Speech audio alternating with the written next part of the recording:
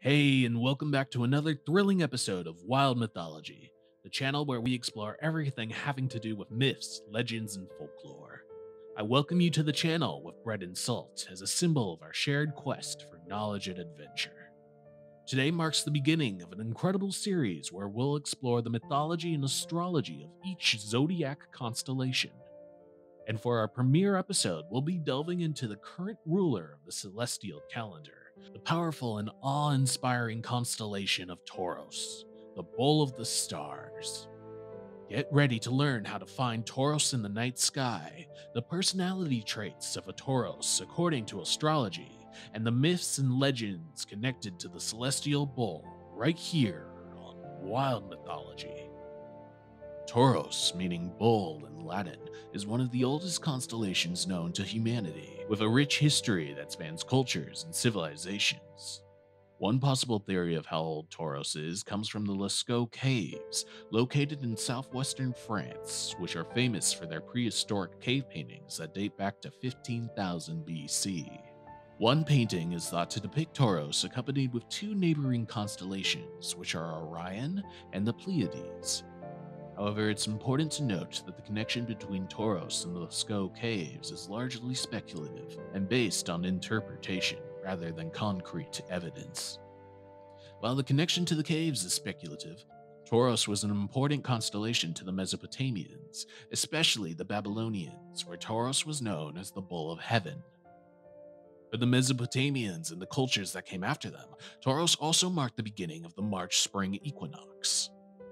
Now, Taurus is located in the northern celestial hemisphere and is very easy to see during the nights of January. If you're interested in finding the celestial bull in the night sky, the best way is to first find Orion's belt. Taurus is northeast of Orion, so once you find the belt, follow it upwards till you hit a bright red star called Aldebaran, which represents the eye of Taurus constellation is then easily recognizable due to the V shaped cluster of stars that forms the bull's head. As for the reason why the constellation only shows half of the bull, well, that has to do with a myth that we will later get to in the video. Now, when it comes to astrology, Taurus is the second astrological sign in the zodiac, representing those born between April 20th and May 20th.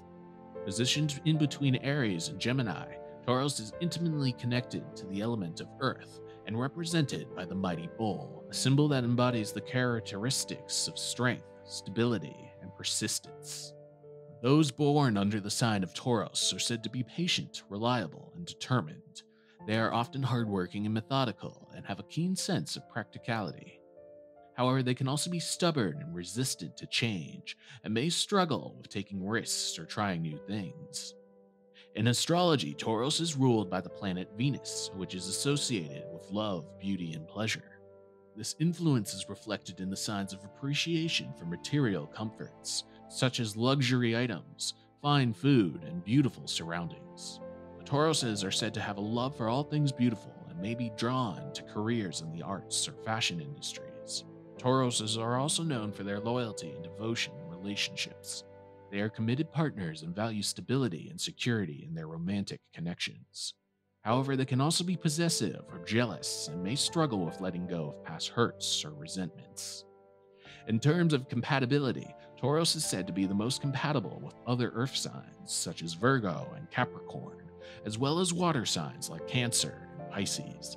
However, they may struggle in relationships with fire signs such as Aries and Leo, which can clash with their more practical and reserved nature. That now brings us to mythology. Taurus isn't just a constellation, it's steeped in mythical lore from Mesopotamia and Greek legends, and even revered by the Celtic Druids and the Inuits who swapped the bull for a ferocious polar bear. But it's not just ancient cultures that held Taurus in high regard. In Buddhism, it's believed that Gautama Buddha was born under the full moon of the celestial sign. Now, in Mesopotamian mythology, Taurus is connected with the Bull of Heaven, who is featured prominently in the Epic of Gilgamesh, the story goes that when Ishtar, the goddess of love and war, was romantically rejected by Gilgamesh, she demanded that her father Anu give her the bull of heaven so she could release it upon Gilgamesh. Despite his initial refusal, Anu eventually gives in to her demands. However, the arrival of the bull causes chaos and destruction, as its first and second breaths create huge chasms in the earth and kill 300 men. Fearing for his people, Gilgamesh and his companion Enkidu engage in a fierce battle against the Bull of Heaven. After a prolonged clash at the end of the battle, Enkidu circles the bull and holds its tail, immobilizing the beast and allowing Gilgamesh to slay it. The death of the heavenly bull angers Ishtar, who insults Gilgamesh, leading Enkidu to rip off the bull's lower half and throw it at the goddess. Unfortunately, the demise of the Heavenly Bull leads the gods to punish Enkidu with death. After the death of Enkidu, the gods took the upper half of the bull and immortalized it into the sky as the constellation Taurus. In Greek mythology, Taurus is associated with several tales. One of the most famous involves Io, a mortal woman who caught the eyes of Zeus, the king of the gods. When Zeus's wife Hera discovered their affair, Zeus transformed Io into a white heifer to conceal her identity. However, Hera was not fooled and took Io captive. Io would spend many years in the form of a heifer until Zeus finally transformed her back into a human. Despite this, Io's transformation into a heifer remained an enduring symbol of Taurus in Greek mythology. In another fascinating Greek myth, Taurus was associated with Zeus, who transformed himself into a white bull to seduce Europa, who interestingly enough was the great great granddaughter of Io and Zeus. As Europa found the transformed Zeus grazing alongside her father's herd of bulls, she became entranced with Zeus's animal form and got on his back. Zeus then carried Europa across the sea to the island of Crete, it was on Crete where Zeus revealed himself to Europa, taking his true form. There, Zeus impregnated Europa with three children and made her the first queen of Crete, gifting her with many magical items. Eventually, Zeus would recreate the shape of the white bull in the stars as the constellation Taurus. The final myth associated with Taurus is the gripping tale of the Cretan bull, the father of the terrifying Minotaur. King Minos, son of Europa and Zeus, incurred the wrath of Poseidon by failing to sacrifice a beautiful white bull.